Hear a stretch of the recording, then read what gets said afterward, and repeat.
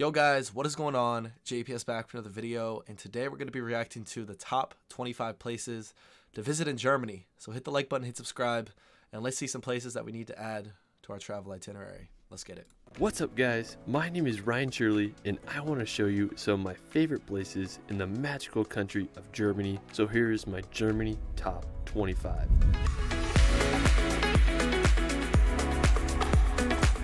Germany is one of the most beautiful and historical countries in the world. It's a land full of fairy tale towns, endless castles, and enchanting sceneries. Germany has so much waiting to be explored.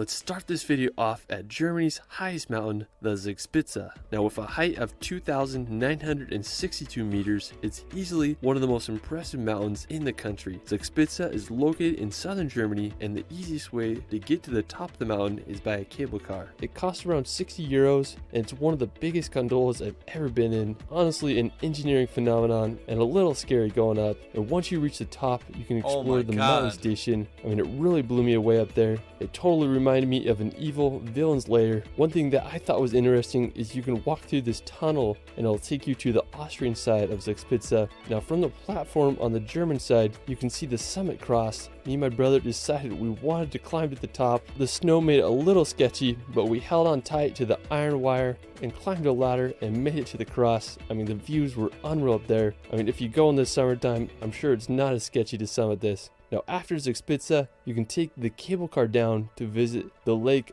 Eibsee. Now, it's known as the Maldives What? of the Alps with its clear water and tree dotted islands. I mean, the color of the water there is astounding. Now, if you have time, I definitely recommend walking along the lake. It's full of beautiful groves of trees and a perfect place to relax on the shoreline and enjoy some Bavarian nature. After, we're going to head over to Wagenbrüche. Now, I have to say, this is one of the most scenic places in all of Germany. I mean, I was just baffled by this place. It's this beautiful little lake nestled in the mountains, and it's full of farm sheds that dot the hillside. Now, the lake is overlooked by the perfectly placed Karwendel Alps. I mean, it reminded me a lot of Alpe di Siusi in the Dolomites. I had such a fun time exploring here. I just walked down a little dirt road to get there, and it was a spectacular place to enjoy the Bavarian sunset. While we're still in Bavaria, we're going to head over to Berchtesgaden. Now, I have to say, this is one of the most beautiful towns in all of Germany. It's just a two hour drive from Munich and it's nestled in the Bavarian Alps.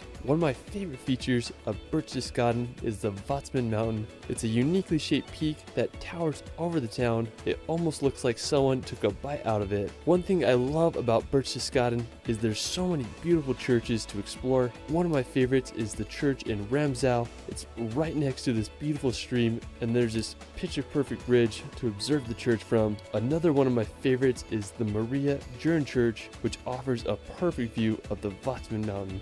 One of the main reasons I wanted to go to Berchtesgaden was to visit Hitler's Eagle's Nest. Now, I'm really fascinated with World War II history, and I had to see this place for myself. Now, the Eagle's Nest was built in 1939 and was given to Hitler for his 50th birthday. Now, to get to the Eagle's Nest, you can take a bus up. When you get to the top, you'll walk through a deep tunnel into the mountain. When I was in there, it was just crazy to think that Hitler walked these same walls. Now, at the end of the tunnel, there's a circular room that leads you into a golden elevator. Even though the Eagle's Nest and the road leading up to it cost nearly 200 million euros to make, adjusted for inflation, Hitler only visited it on 14 documented occasions. This may be because Hitler was afraid of heights and he was also scared of using the elevator. Thankfully, the Eagle's Nest wasn't destroyed in World War II, and today it's a restaurant with panoramic views. And while you're there, you can hike up some walking paths into the Berchtesgaden National Park, enjoying the incredible sights of this historical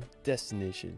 Bro, imagine having a beer up there. That would be crazy. Afterwards, we're going to head back to Berchtesgaden to visit the lake Königssee. Now, the lake was created by glaciers, which makes it feel like you're in a fjord you'd see in Norway or New Zealand. When I was there, we took a boat ride to the end of the lake. It cost around 15 euros and took about 50 minutes to cross the lake. Now, the first stop was to the famous St. Bartholomew's Church. We kept going and we reached the end of the lake. We then hiked about 10 minutes to reach Obersee. I mean, just home to this iconic lake hut, and the scenery there is just astounding. I mean, the lake's so clear, and it's just surrounded by massive mountain walls that are hard to explain. I mean, I just had a great time enjoying the scenery around the lake. definitely gotta explore Königssee and Obersee while you're in Berchtesgaden.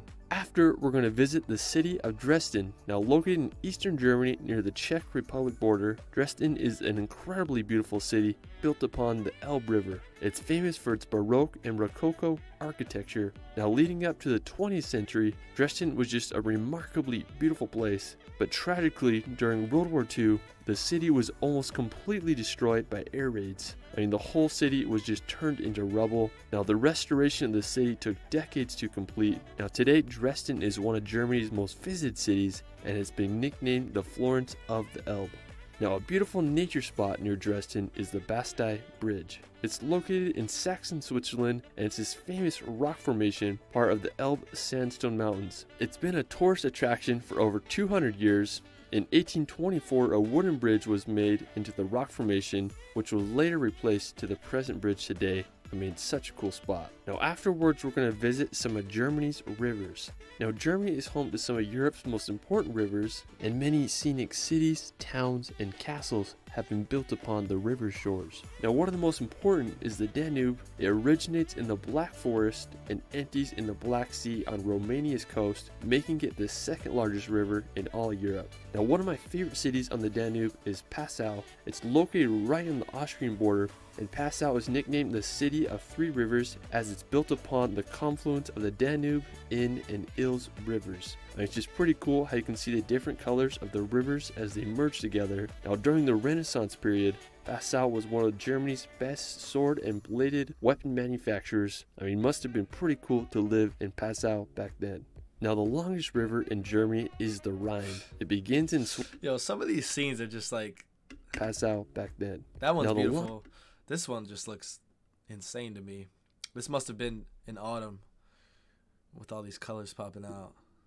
I love how it wraps around. That's so beautiful. The longest river in Germany is the Rhine. It begins in Switzerland and empties in the North Sea as it crosses through important cities such as Cologne and Dusseldorf. Now, the banks of the Rhine River are home to so many towns and castles. An interesting place is the Pfalz Grafenstein Castle, quite the name. Now, it was built in the 14th century and served as a toll station for passing ships. A chain was put across the river, making sure ships would pay the toll, and uncooperative sailors would be put in the castle's dungeon.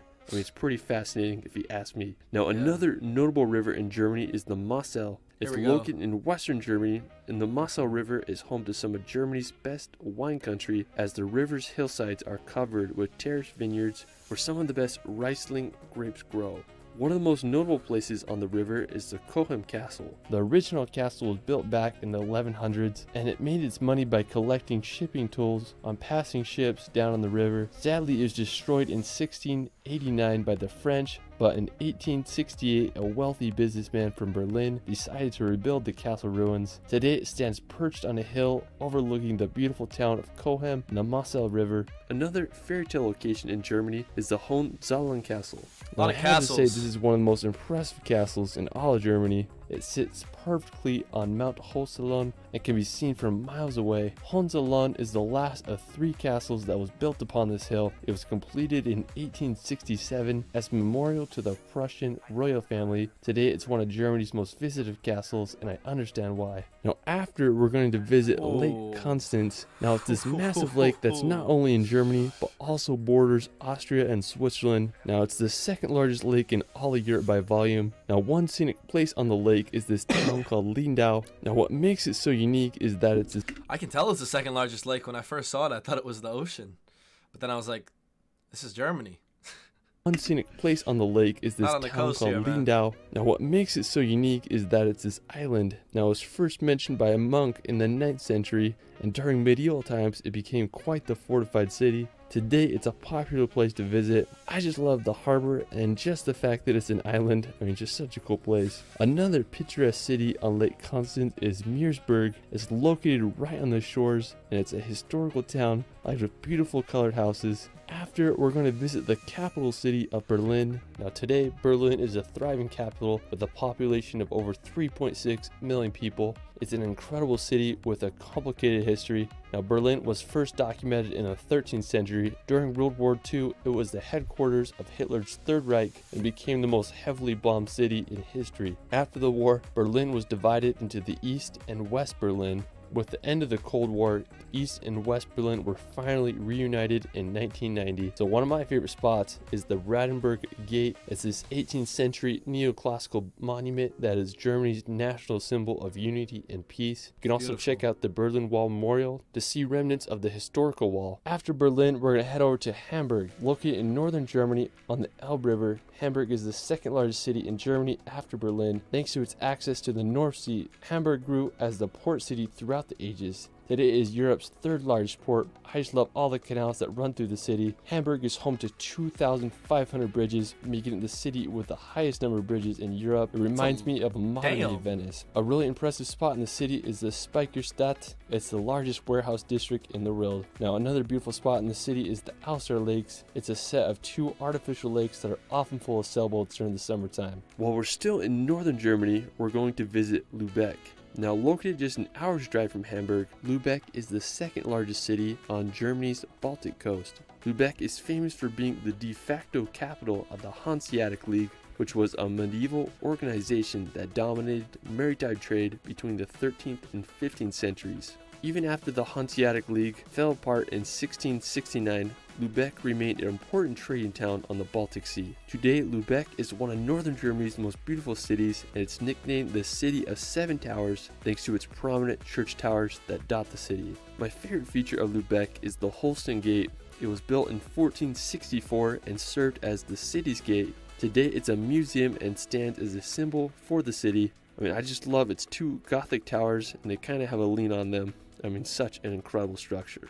Now, from Lubeck, you can venture up to the Baltic coast. A beautiful area is Brodten. It's home to coastal cliffs and incredible views of the Baltic Sea. There's a walking trail that follows the coast, and it's an ideal spot to explore on a summer day. You can also visit the shores of Scharbeutz. There's a massive beach and pier to walk out on. One of the most beautiful palaces in northern Germany is the Schwerin Castle. It's located about an hour from Hamburg, and the castle is built upon an island in Lake Schwerin. There's been castles on the island since the 10th century, but the majority of the castle you see today was built in the 19th century. The castle is regarded as one of Europe's best examples of romantic architecture and is being nicknamed the Neuschwanstein of the North. Afterwards, we're going to visit Cologne. Now, located on the Rhine River in western Germany, this 2,000 year old city is full of history and beauty. It was established in the 1st century AD What's really standing out to me is this cathedral like structure.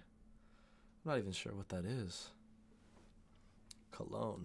Thanks to its location as one of Europe's major trade routes, it grew to be one of the largest cities north of the Alps during medieval and Renaissance times.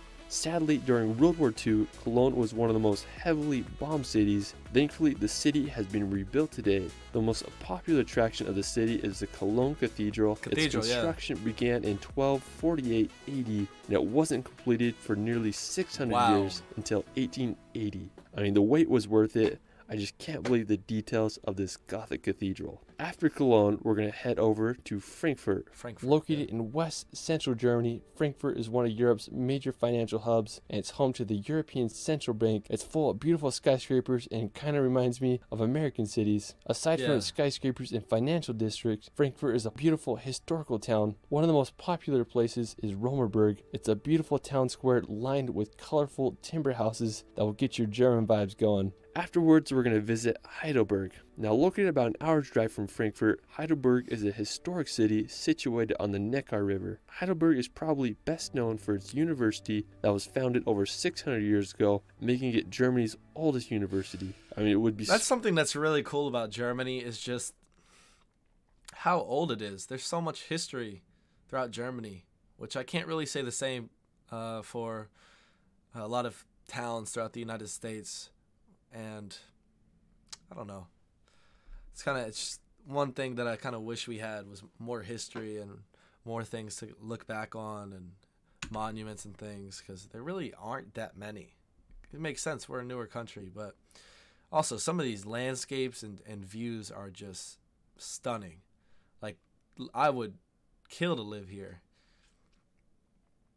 Like, that's so beautiful. It was founded over 600 years ago, making it Germany's oldest university. I mean, it would be so cool to study there. Now, what I love about the city is its bridges that cross the Neckar River. I mean, Germany knows how to design a beautiful city. Now, while we're still in southwestern Germany, we're going to visit the Black Forest. Now, located right on the border of France, the region is famous for its dense forests, picturesque villages, and is often associated with the Brothers Grimm's fairy tales. Now, Hansel one of the most Gretel? prominent cities in the Black Forest is Freiburg. It's a vibrant university town with some incredible architecture. I mean, I'd love to just road trip through the Black Forest this summer. Now, afterwards, I we're going to wouldn't. visit the magical scared. village of Rothenburg. Now, when you go to Rothenburg, you'll feel like you're walking in a fantasy movie. It's one of the most preserved medieval old towns in all of Europe. During the Middle Ages, Rothenburg thrived as it was located at the crossroads of European trade routes. At the beginning of the 15th century, it rose to becoming the second largest city in all of Germany, but during the 17th century, Rothenburg faced adversities such as the Thirty Year War and the bubonic plague. Without much resources, Rothenburg's growth was halted, which aided in keeping the town preserved in its medieval state. Today, Rothenburg maintains its medieval charm, and it's been the inspiration for sets of Disney movies such as Pinocchio. If you go, you can check out the famous Plönlein Corner or witness the beautiful Christmas markets. I mean, just hard to beat the allure of this German village. From Rothenburg, you can make the three hour drive to the beautiful city of Munich, also known as Bavaria's capital. Munich is located in the south of Germany, about 50 kilometers from the Alps. During World War II, Munich was heavily bombed by over 70 air raids, but today the city is restored to its former beauty. One of the most popular spots is the Marienplatz, Central Square. You'll find the new town hall with its stunning clock tower and historical figurines. Now, for our final destination, we're going to visit the iconic Neuschwanstein Castle. I have to say that it is the most beautiful castle in all Europe. It's what inspired Disney's Sleeping Beauty castle. I mean, it's just ah. the perfect place for a princess. Now, the castle is nestled at the very tip of southern Germany. Neuschwanstein Castle is placed perfectly in the mountains with a phenomenal 360 view of the Bavarian Alps and the town below. The construction of the castle began in 1869. During World War II, the SS debated blowing up the castle to prevent it from falling into the enemy's hands, but thankfully it never happened.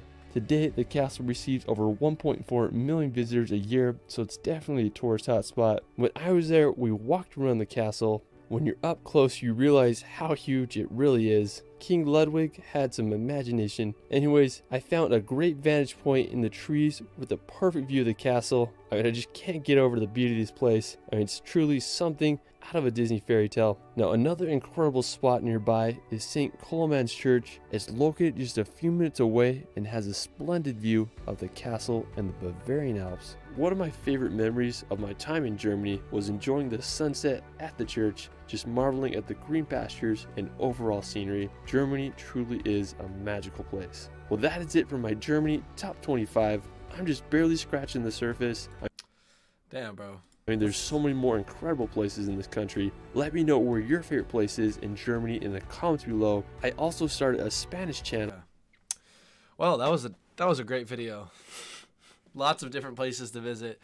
I was shocked at uh, the amount of castles there were throughout Germany and how they're all strategically perched at the top of hills and what a beautiful country. So many different places to uh, to visit. So hopefully we'll get to visit Germany at some point in the future. Um, let me know what your favorite place in Germany is and hit the like button, hit subscribe, and I'll catch you guys in the next one. Peace.